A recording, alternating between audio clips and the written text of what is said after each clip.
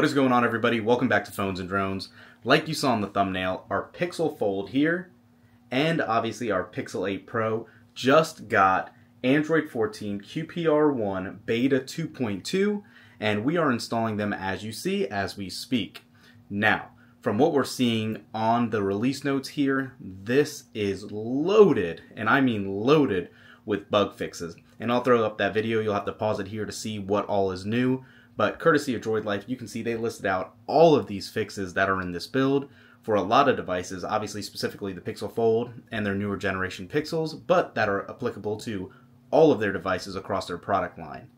Now, having said that, since this looks so heavy on fixes, I don't anticipate to see many new features in here. We'll probably see some UI tweaks and all that, but as soon as it finishes updating, we will go ahead, do our traditional hands-on, see the temperature, check the build number out, and see if anything really stands out. Probably going to be a short and sweet video for you guys, like I said, since this is mainly centered around bug fixes, but let's jump into it and take a look. So while the update does finish installing, I do just want to call out a couple things on these two devices. So for the Pixel 8 Pro, you can see it has an update size of 103 megabytes.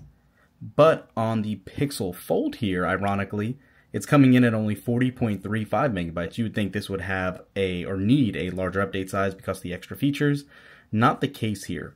And again, as we showed you earlier, here is the actual developer website for this release from Android. And again, we're not going to go into it, but Beta 1 was released on October 19th, and this one obviously is released on November 2nd. So quite a few weeks in between these dot releases, but again, we are speeding towards the December release for this QPR 1.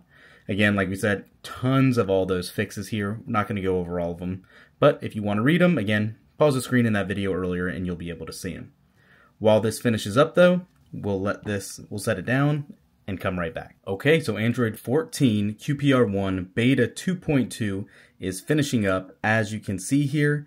While this finishes, let's go ahead and check our normal temperatures. And I can tell you right off the bat, just feeling it, especially having done this more recently with the iPhone 15 series devices, it stays so much cooler.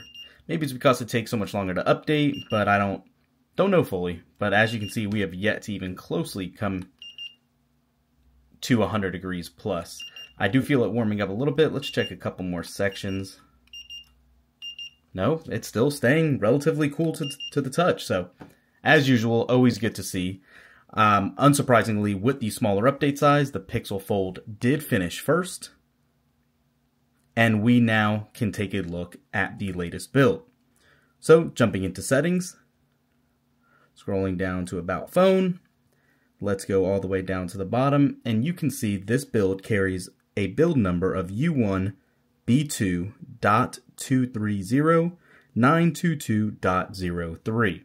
And again, you can see it just finishes updating, and it is a little glitchy still, so take that for what you want, but again, let's give it a second and check it out. Okay, while we were giving this a second to get reacclimated, this one actually finished. So our Pixel 8 Pro is now going to finish and install the update as well. But from just scrolling around very quickly and then opening it up in the most basic form, everything does seem to be operating as you would expect. Again, jumping around in the settings also, really quickly, we didn't see anything that really stood out in terms of what's new or anything. Same wallpapers, same clocks, nothing crazy in this regard. Um, there were a couple of rumors of some new lock screens or something being added. I haven't seen that yet. It could have also been incorrect, so just keep that in mind.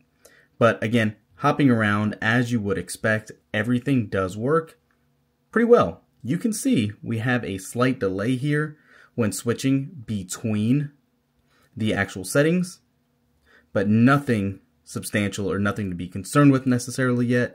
You can look through everything you want. Let's go to NFL.com. Still have that issue where it doesn't transition right over to the lock screen if you close it. That was kind of taken away. You have to unlock it and it will come back. Very weird, but again, something unique to just the Pixel Fold um, since it is their only foldable device. Hopefully that'll change and they will bring that option back in the settings that was removed. But yeah, aside from that, jumping in the camera, as you would expect, everything does work pretty good. There's a slight delay, and look, it actually locked up. Um, but we'll see. Again, this is a beta build for a reason. You can see we're having a few issues here with it substantially being delayed uh, when going through certain options. Let's take another photo. Let's see.